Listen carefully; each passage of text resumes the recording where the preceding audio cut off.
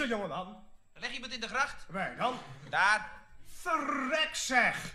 Help! Help! Er ligt iemand in het water! Hij kan niet zwemmen volgens mij. Nee, veel stijl hebt hij niet. Het is meer eh, spartel als een hond. Hebben u een sigaretje voor me? Oh, ja, zeker wel. Ik probeer er juist vanaf te komen. Hè. Ja, dat is moeilijk, hè? Dank u wel. Kijk, hij wuift. Nou, dan wuiven we toch terug. Hallo? Misschien is het een buitenlander. Die daar? Verrek zeg. Wacht eens even, wacht eens even, wacht eens even. Is het geen rijksgenoot? Nee. Nee, hij ziet blauw van de kou. Help! Help! Ja, je kan roepen dat je een ons weg, ze laten je mooi verrekken, hoor. Ja. Oh, ja. Het, barmhartig mogen ze zo langzamerhand wel uit het Amsterdamse stadswapens schrappen, Nou, nou, nou, nou, nou.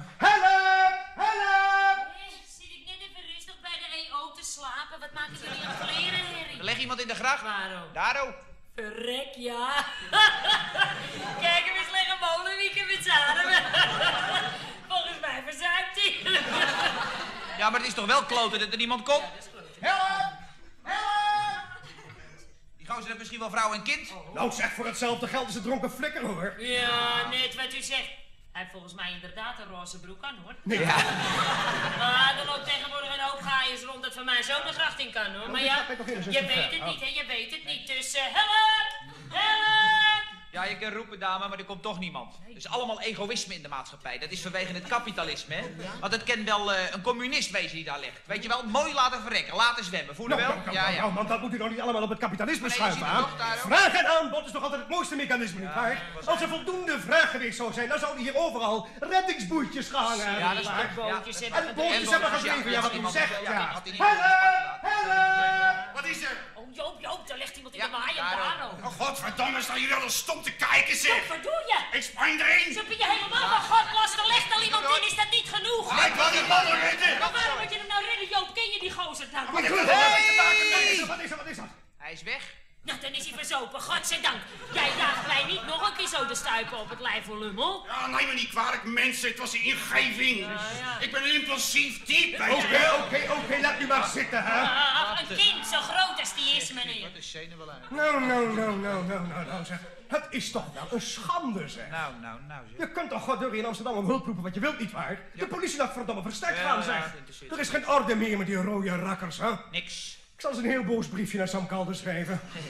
Bah! Goedendag. Goeiedag. Toch even gelachen.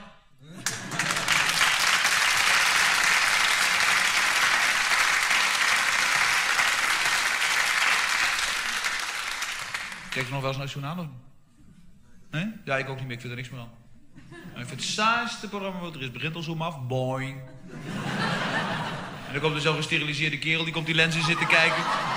Je weet nooit wat het over gaat. Of het nou leuk of vervelend is. Hij doet allemaal dingen. Dat is al die al met raar. Die al die dat allemaal zijn nemmel.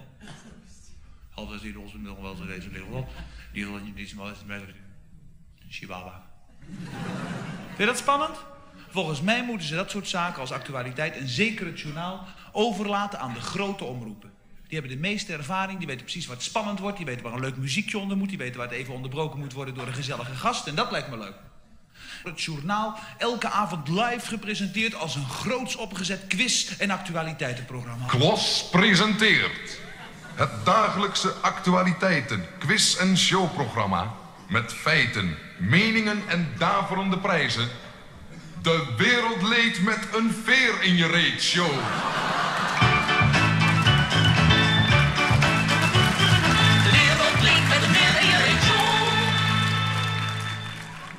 Goedenavond, dames en heren thuis. En u ook hier in die gezellige meerpaal in Dronten. Vanavond alweer de 500ste aflevering van onze actualiteitenshow Wereldleed. En dat wil natuurlijk zeggen een jubileumuitzending. Fijn. Wat betekent dat, een jubileumuitzending? Wel, dat wil zeggen extra gezelligheid, extra muziek, extra prijzen, extra gasten en vooral extra griezelige berichten. We gaan over naar Amsterdam voor het eerste enge bericht. Ja, Giel, in Amsterdam brandde in de tweede van Swindestraat een huis bijna geheel uit. De bewoners, een gezin bestaande uit vader, moeder en drie schatjes van kinderen, konden allemaal worden gered. Op de zolderetage bevonden zich, terwijl de vlammen hun alles vernietigend werk deden, 18 rijksgenoten, waarvan er slechts twee een baan hadden en de overige 16 van onze sociale voorzieningen profiteerden. Alle 18 zijn waarschijnlijk op afgrijzelijke wijze om het leven gekomen. De vermoedelijke oorzaak was vuur. Prima. Geweldig. Fantastisch. Ja, dames en heren, maar meteen onze eerste gasten. U kent haar allemaal, het is onze eigen Limburgse leeuwerik. Ze is 16 jaar, ze komt uit Kerkrade. Een ontdekking van Pierre Kwartel. Hier is onze eigen Mineke.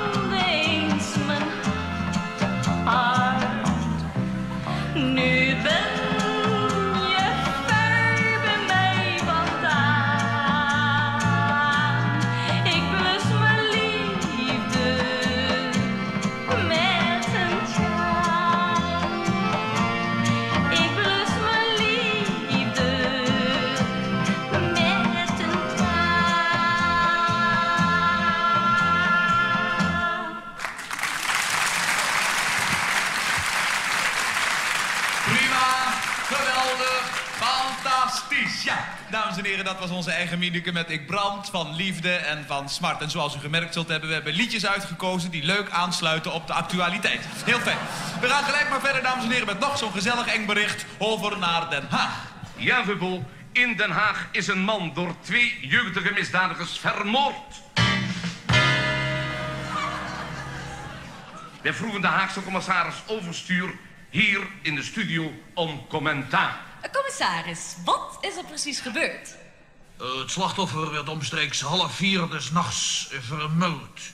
Het motief is ons nog niet duidelijk. Als enig aanknopingspunt hebben wij het gegeven dat het slachtoffer regelmatig in homofiele kringen heeft verkeerd.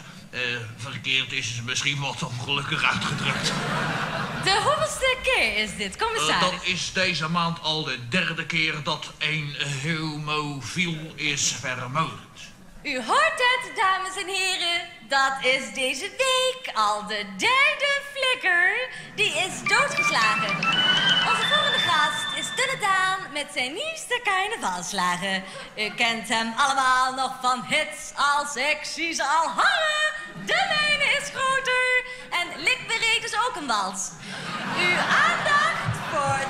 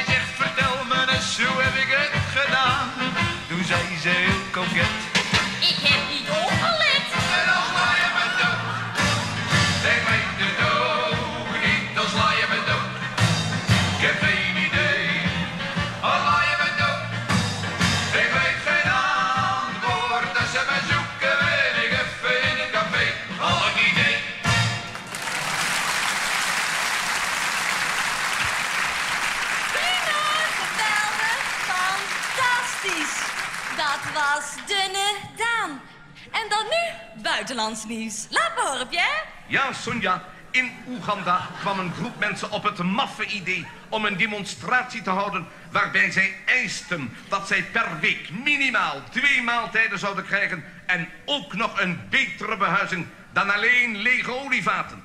De politie heeft er 78 kunnen neerschieten, de rest is nog voortvluchtig, dus dat telt lekker aan.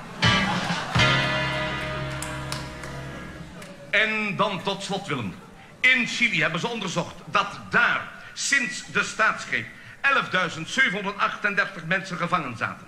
Van die 11.738 bleken er 1278 niet erg sterk te zijn. Want de meeste ervan overleden al enkele dagen nadat zij een gesprekje hadden gehad met de politie... die dan allerlei spelletjes deed als stokslagje, stroomstootje en geslachtsdeeltjes snijden. 1278 doden dus, wat het totaal brengt op 1465 doden. Niet zo'n hoge scoren, maar het kan niet altijd feest zijn. Zal ik dan maar meteen onze volgende gasten voorstellen. Het zijn Frans en de Bila met hun nieuwste hit. Halali, Lili, La Lali.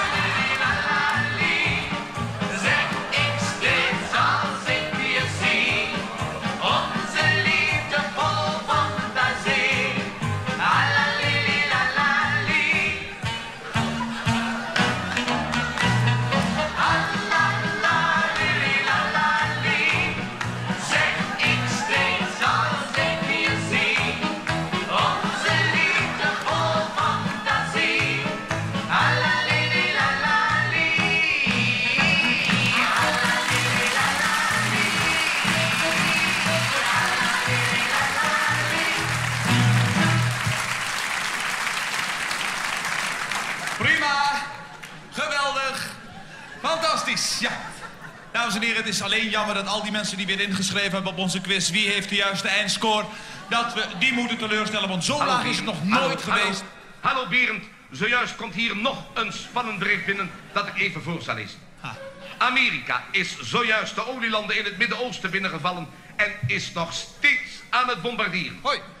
De president van de Verenigde Staten verklaarde net dat dit de enige vredelievende mogelijkheid was om aan de wurgende greep van de olieproducerende landen te ontkomen.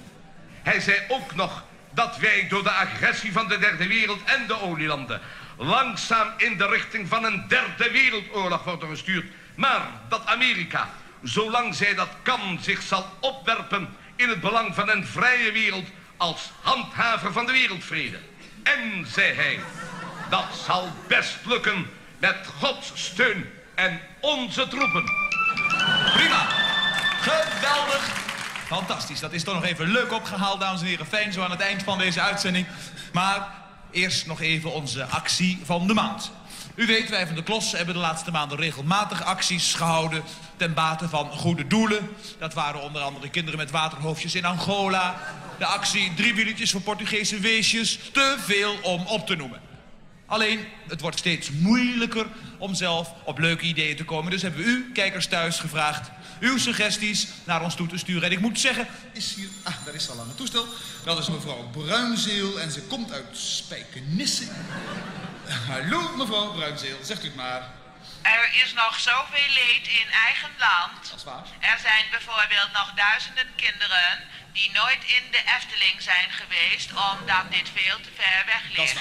Mevrouw... Helemaal in het zuiden van het land. Mevrouw Bruinzeel... Waardoor bijvoorbeeld kinderen in Groningen, Drenthe en Friesland in halve dag moeten reizen om er te komen. Begrijp ik. En als het dan druk is, moeten zij eerst nog één uur in de rij staan. Natuurlijk. Waardoor ze eigenlijk alweer terug moeten om op tijd thuis te zijn. Mevrouw Bruinzeel- Hetgeen een nadelige uitwerking op de kinderen kan uitoefenen. Uiteraard. Vooral Mevrouw- als zij in een moeilijke leeftijd Ja, zijn. natuurlijk, mevrouw Bruin. Daarom stel ik voor een actie voor een groot kinderpretpark in Drenthe. Prima, geweldig, fantastisch, mevrouw Bruinzeel. Hallo meneer, zegt u het maar. Het lijkt mij nuttig om eens aandacht te besteden aan de lepra-bestrijding. Lepra is een ziekte die naar schatting 15 tot 20 miljoen slachtoffers heeft over de hele wereld. Terwijl de ziekte heel makkelijk te genezen zou zijn. Voor 11 gulden kan een patiënt een heel jaar lang behandeld en genezen worden. En daarom is mijn suggestie, breng geld bij elkaar om lepra doelmatig te bestrijden. Prima, geweldig. Twee suggesties voor twee geweldig belangrijke acties. Ten eerste een groot kinderpretpark in Drenthe of aan de andere kant de lepra-bestrijding. Ja, het is heel makkelijk. Ik noem de actie en u steekt uw hand op als u die actie eh, bevoordeeld wil zien. Dus ik zou zeggen, dames en heren, laat u maar even zien. Die is er voor een groot kinderpretpark in Drenthe. Prima, geweldig, fantastisch, heel fijn. Dank u wel meneer, erg fijn. En dan nu de lepra-bestrijding. Laat u maar even zien. Prima, geweldig, fantastisch, heel fijn. Dank u wel, dank u wel. Weer diezelfde meneer, heel fijn. Ja, dames en heren, u hebt het gezien. Met overgrote meerderheid is het de lepra-bestrijding geworden. Fijn. Zo dadelijk komt vader Jacob nog even het actielied van de maand zingen. Het lepra-lied dus. En ja? Nou, zeg dat zelf. Ja, dames en heren. We hadden natuurlijk kunnen weten dat de meeste van u zich druk maakt om onbenullige zaken. Maar ja, volgende maand dan maar, hè? En hier is dan vader Jacob met zijn lepra-lied.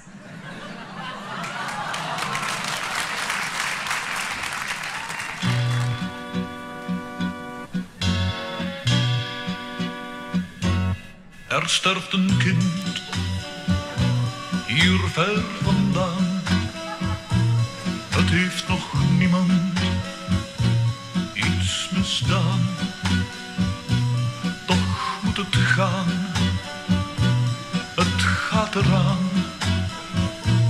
De lepra heeft zijn werk gedaan. Het begint gewoon een kleine zweer die groter wordt. Er komen meer. Een hand rot weg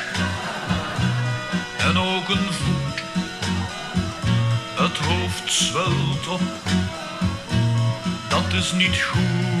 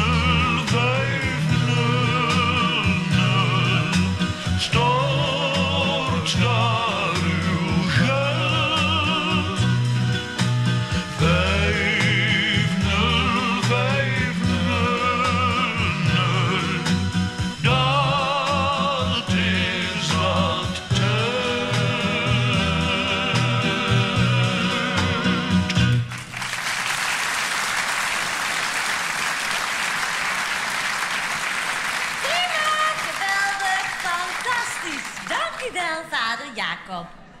Zeg Pierre even onder ons, zeg dit het Ja, dus. ja, dat is mijn, eh, mijn nieuwe singeltje. En dat heb ik zelf geschreven en, En sta jij daar helemaal achter? en gecomponeerd. Ja, daar sta ik eh, inderdaad helemaal achter. ja. En wat staat op de achterkant? Nou, op de achterkant, daar staat dat liedje van Mineke, dat je eerder in de uitzending hebt kunnen horen. En dat heb ik ook helemaal zelf geschreven en, En wat staat op de voorkant? En gecomponeerd. Eh, op de voorkant staat dat liedje dat ik eh, zojuist gezongen heb. Eh, dat heb ik ook zelf geschreven en, En wat gaat ermee gebeuren? gecomponeerd. Nou, dat zal ik je eerlijk zeggen, Mies. Kijk, ondanks de vreselijk zware belastingdruk op ons soort artiesten... hebben we toch besloten, de gehele opbrengst komt ten goede aan de lepra-bestrijding. Prima, geweldig, fantastisch. Dank u wel, vader Jacob. Wel. Ja, prima, geweldig, fantastisch. Nu, dames en heren, dit was het voor vandaag. Geweldig, hè?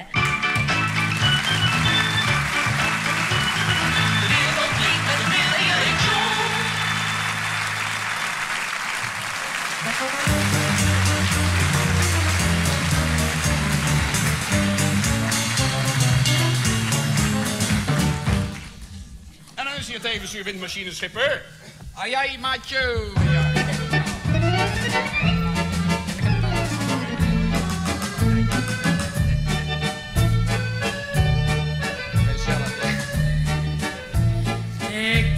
een zeemansdochter.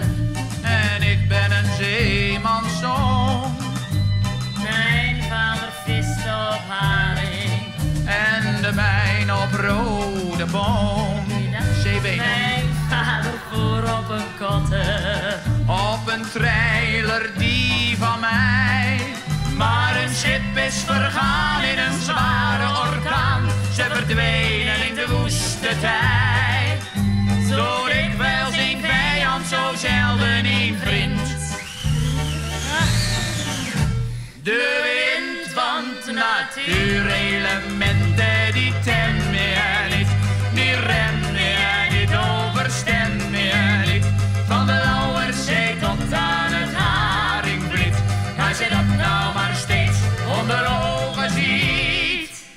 Ja, tegenover de natuurelementen staan de mensen nog steeds machteloos daar. Oh jee, ja, er is zo ontiegelijk veel leed te bewaren. Huh? Nou, Eh, eh, mijn moeder die nu dus weeuwen was. eh, wacht, stop eens. Wat, wat was je moeder? Zeg het nog eens. Wat was jouw moeder? Mijn moeder was weeuw. Wat is dat? Dat is eh, oud-Hollands. Dat betekent weduwe. Weeuw, zei ze toen. Ja. E- Eerlijk? Ja, bestaat dus. Wat het gek, nooit van gehoord. Ja, ze was het in elk geval. Ja, nou, goed. Ja. Liep naar de kaart. Nou, de mijne die op van de zeeuw was. Hallo, wat was de mijne? De mijne had er ontzettend veel last van nervositeit, dat mensen. Zeeuw, zenuwen. Komt in hele oude boeken, kan je vaak lezen. Er staat Mensen die de zeeuw hadden, jawel. nou, nee, trouwens, wat jij kan, kan ik ook. Die liep haar achterna. Reeds stond daar het hele dorpje daarom. Ja, ik zie het. Er zeer verslagen bij. Daar kraakte de kade zwaar overbeladen, verdween in het woeste tij. Deze klap als de zee een heel dorpje verslindt. Door de wind, want natuurelementen